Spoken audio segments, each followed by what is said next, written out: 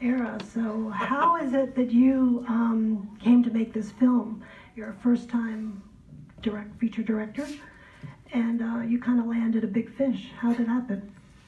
Uh, well, I met David when he was 69 years old and he was in the midst of recording Croz, which was his first solo album in 20 years. He talks about, you know, those four solo albums, he's halfway through a fifth.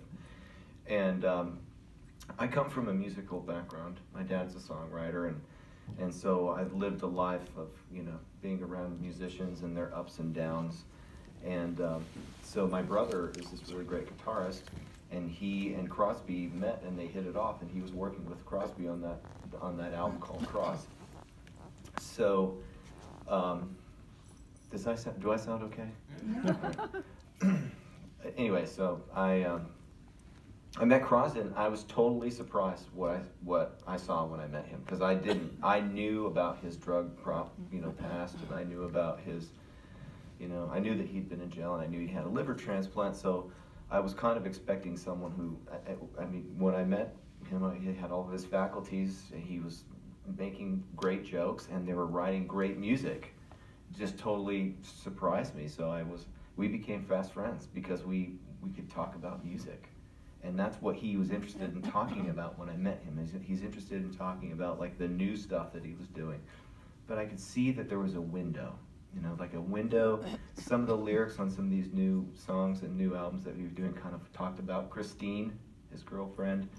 And so I just kind of started thinking like someone should shoot footage of that. And I just I said, hey David, we should shoot some footage of this for posterity. And he kind of agreed because he trusted me because I liked what he was doing musically and then pretty soon I said we got to do a movie, and then after a couple of years of like borrowing money to shoot because he's like he's doing so much he's going on tour he's recording an album and i felt like i'm doing i'm going to take on this movie i'm going to do it. But i felt like there was so much stuff that i couldn't afford not to shoot but i also couldn't You're afford a documentary to shoot. filmmaker. Yeah yeah. So um, and then finally i got to a point where i was i was like just completely broke and and and you know going around town saying you know I'm going to do this movie about David Crosby, and you know I ran into I mean I've the Hollywood stories are hilarious. You didn't just happen to run into Cameron Crowe by any chance? I did. Well, I, after a couple of really weird meetings, and and basically I ran into Cameron at, at um, what. Tell them, I think most people here probably know who he is, but just in case. Well, Cameron's one of my filmmaking director heroes, and he's also, he comes to directing via being a uh, you know a journalist at the age of 15 and his life is basically depicted in the movie he won an Oscar for Almost Famous and so he was this brilliant young uh, I call it courageous curious uh, young young person young man who was out on the road with Led Zeppelin and Crosby, Stills and Nash, and I knew about that story. And so when I saw him, I was like, "That's it." Well, what did you say to him? Well, Joe Mazursky, our executive producer, said, "Well, I, I was like that. He should he should do the Crosby movie. That's it." Because we needed a producer. We needed. This is a Herculean task. You know, you can't do a movie about David Crosby on your own. You know, I mean, we have a team of archival researchers. We have a team of producers you know we have and it's it's he's lived an epic life so um, and we, you know and also getting financing because we have you know hundreds of cues of music in there. Oh yeah. And that that is not for the faint of heart. No not at all. So cameron really truly is the only person that could have made this movie that i could have made the movie with. He he has an affinity for the the time period uh, I have affinity for Crosby's later years when he, you know, the CPR and the new albums. And so the two of us kind of brought two perspectives together and we really worked harmoniously and spent a lot of time. But he, he said to me when I first met him, he said, well, why don't you let me do, let me do an interview? As, because he was, he, at that point, he could con, uh, commit to being a producer because he was working on a TV series. And so, and of course I was like, yeah, you should. And so when the minute that, that Crosby and Cameron, ah. Hey, hi everyone. Yeah, um, so the minute uh, Crosby and Cameron uh, sat down together and they started talking, it was like a faster shortcut up to and they they were going places, the places that I was hoping that we could go, and and Cameron was able to ask him these like questions, and Crosby didn't not answer any question that Cameron. And then you know pretty soon like Cameron and I are going like we should talk to him about this, talk to him about that, and Cameron's like yeah, yep, and so systematically we we did a series of these interviews, and each interview got more just I mean, Crosby was ready to talk. He was ready to get some things off of his chest. And how, what were the ground rules? Did, did Crosby, did he get to say, I get final creative control, or editorial control, I get the final cut? What, what, what kind of ground rules did you have? No, that was one of the rules right off the, off the bat that we, Crosby could not be in control. I mean, it was a partnership and he trusted us. And he, and once, once I, I was able to court, you know, and convince Cameron to come and support and be part of this project and, you know, be that, this is the first movie that he was the producer and not also the director. And I also know that, you know, Crosby's music means so much, and CSN and CSNY and the Byrds and his life means so much to so many people. I knew that I, I would get a little terrified. so, um, uh, but the rule was that we, we were making this film, this film about him. It's going to be objective, and he would cooperate with us, but he, he was not able to come and look at shots and, and footage. I showed him one clip. Only that one time at the market where he said, I don't know what you're gonna get here. He Yeah. was starting to direct you. Yeah, yeah. Well, that was once we once we had done these really. I mean, these interviews were so captivating, and the the connection that Crosby and Cameron have. I mean, Cros- Crosby and I have an interesting connection because we can talk about music and geek out about that. But these two have been having this trusted dialogue for over forty years. And then once we had those as kind of a foundation, I had already had amassed a, a, a, a library of footage of him in the studio and on the road and all of that. And then we and then I said, we've got to get him out. We've got to get him out of that out there. And so that was the perfect opportunity to put cameras in the car when he was leaving on tour. And he wasn't excited about that, and he's definitely not excited about going to Laurel Canyon. And that was a day where it was rough for everyone. Yes. no cinematic value here at all. This is terrible. and, and he probably said more off camera than where he, we heard. yeah, we, we had that was a very hard day for all of us. It was 100 degrees outside and and it was not easy. But what's crazy is that and this is just how Crosby is. He's like a con, you know, a paradoxical person. He says, "This is terrible. You're not going to get anything here at all. There's no cinematic value here." Cameron asked him a question in the in the store like, "What does this whole place represent?" It's just where we got the damn groceries. you know? Oh, Morrison, what a dork. And then he sits out on the porch of the Laurel Canyon store and, and starts talking about Mama Cass and all the girls he hurts, and that's like that's Crosby. He just once he had his little fit, then he goes deep. And we were, I mean, many times when we were shooting, I was like whispering to the camera crew, "I hope we have enough memory cards, you know, enough film, Yeah. because we, we might be we're, we're we're striking gold, we're hitting oil or whatever metaphor you want to use." So you must have tried for interviews with uh, some of the guys that he, uh, did you, or, or what did you, uh, well, tell me about that. Uh, Did, did people refuse to talk to you about him? Uh, well, one of the first cool creative meetings that that Cameron and I have, again, pinch me, you know, Cameron Crowe and I have creative meeting, um, was that we, we we wanted to avoid cliche, and and that was kind of what I the i- some of the ideas that I brought to him, you know, initially. But he's like, let's just not do a parade of talking heads. That gets boring, and it also be turns turns into like, he said, he said, this person, that person, and so we were, he, Cameron's like, you know, Crosby can tell, and, and we agreed. Let the man tell his story uh-uh. like he's writing a long lost letter to an old friend, you know, and, and just kind of come clean, go, you know, I messed, because he, he's owning it right now. He's owning his own mistakes. So, yeah, when it came to the to asking those guys, I mean, they're all upset with him first off. And That's obvious. yeah, and they're not, and I just, I think it would have turned into a sensational thing, and it, it would have gotten TMZ. Do you think they've seen it? Do you know if they've seen it?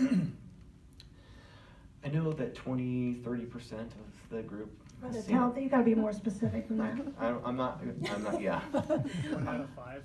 One out of five, one, one out of three out of, uh, uh, Yeah. CSN? Two, two people refused to watch it, Oh, okay. so.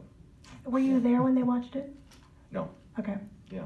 And did they, but did you get any feedback? I did, but it's that's for them to say. Okay. You know, All right. I, I, I it's a good question, but I did get the feedback, but I also like, you know, they did have to cooperate because they let us use their music. Yeah. Oh, oh, you mean, what would that have, oh, that would have been a big problem. Right. Mm. So so that in a way, they're they one person said, you know, I'm not interested in talking to him right now, but what I am interested because they respect Cameron and they and I'm friends with them. That what I am interested is that just make sure it's honest. Yeah. Well, how about at the end when he kind of gives us that wink, you know, like, well, maybe I've just been bullshitting this whole time. I mean, you, that, I mean, you, and you put it near the end, Yeah. so tell us why you did that. And Well- what, what do you, what did you infer from that? He Crosby is a paradox. He's always messing with people, and still to this day. And I think that's just so symbolic of his personality. No, I don't think he had a grand plan to to coerce us into making this movie. I coerced him and into making to telling the story because I think that now is the time for him to tell a story. And Cameron also believed in that and believed in me and Crosby, and so, but he just like what he said at Laurel Canyon. Oh, it's just where we got the groceries, and then goes it, and then proceeds to say how he you know hurt a lot of people. I think that's symbolic of Cam of Crosby, uh, what he you know yeah yeah I'm just messing with you.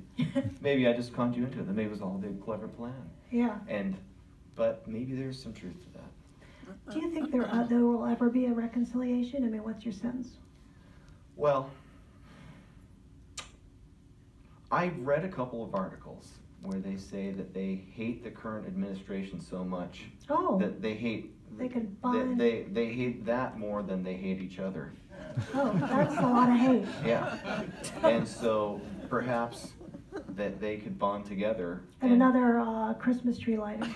yeah, yeah, and uh, so that's one. I'm in Washington D.C. I should probably be, you know. No, it's okay. I think anyone who comes to You're- see this film is, Yeah. uh, you know, they're not exactly, you know, You know, at the I'm Trump wearing- Tower. Yeah. um, yeah, I, I think that there. What I'm really happy with and what I'm proud of is that like music is kind of a hopeful thing, and you can't.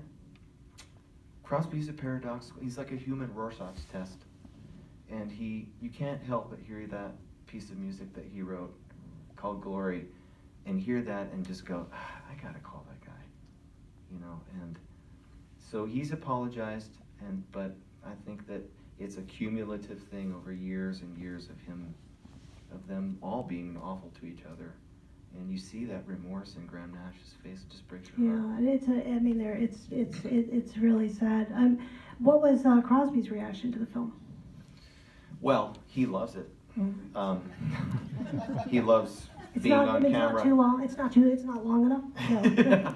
well, I have a funny story about that. Uh, he, you asked one of the first questions of like what his involvement was. He was cooperating. You know that Jan and David. It was the first time that Jan, to my knowledge, has gone on camera for a movie, and you know they weren't really excited about talking. I mean, they've been approached dozens of times to for by people to do you know films about them, and they just have turned it down.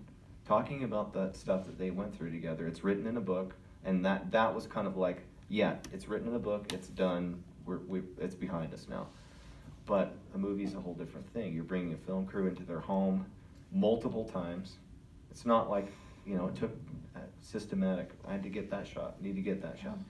And so the day that we were shooting, I mean, Jan Crosby is, I mean, I think she's an angel. I think she's a saint. She's the reason why Crosby's alive. Um, so, you know, all along I was saying, you know, we really want you to be in this movie. And Cameron was saying the same thing. And the day that we shot the, the interview with him on the couch, where he says, Mhm. maybe I conned you into it, Mm. um, you know, he's very comfortable in his home. And that was where we got some really great stuff. He says, I'm afraid to die. We're going, whoa, right? Jan locked herself in the bedroom with her dogs. She locked herself in the bedroom all day. And finally, it was getting darker, and she opens, the dogs come running out, and she's dressed nice, and her hair looks great. And I was like, Jan, what are you-" she goes, I'm ready. Wow. And, wow. and I said, great, okay, guys, let's get the, Yeah, let's seize the moment. Yeah, kitchen table here, let's shoot you here, right there, we'll just get you all mic'd up and all that. And she said some very, very courageous things. I mean, it took a lot for her to say that. And that's why she said, I'm sorry to say that it's on camera, but, you know, because it's a culmination of, she knows, you know, life, time is the final currency. Um, but to go up to answer your question about the, the, he kept calling me and saying, I better be seeing some footage. I better be seeing some clips. And I was like, nope, I'm not. And he really got upset with me. He has a temper. I think you can get that. No kidding. Yeah. um, and he, he hung up on me a couple of times, and I was like, look, I'm not going to show you a scene of the movie. It's like me playing a chorus or a, a bridge of a song. I had to play the whole song, and he just, there was a silence on the phone, and he's like, I better see something soon. Click. so finally, one day, we, we, showed, we showed him what was ready to be the cut and uh, you know we were ready and, and jan and david came down to la and we there's a screening room that's probably half this size and they walked in and he said how are you buddy i said great i'm ready to show this and we had the whole You must have been nervous. we were all nervous Mhm. yeah lights came up just like this sitting in chairs just like that and he turned around and he looked at me he goes i fucking love it Oh, wow. so that was a real like Oh, yeah. moment, and I could hear Jan and Dave, you know, them laughing and crying during the whole process. But then finally, when he saw the movie at Sundance, Mm. that was like when he saw it with an audience. And and Cameron Crowe and I have both been we looked at each other because that was the first point, like I think with Crosby in front of an audience where he's been speechless. And, and you, there's film of it, like vid- people took iPhone film that's like on YouTube and such, where he's just it was an overwhelming, just you know, beam of light and love and joy all together. So, Well, you did a great job, and um, I imagine, you know, and it's as much a film about an era as it is about yeah. about a person, which I think you just captured so incredibly, considering you did not live through it. Thank you. Yeah, some of us did, you know. Well- Um, but I think I'll, I'll open it up to questions.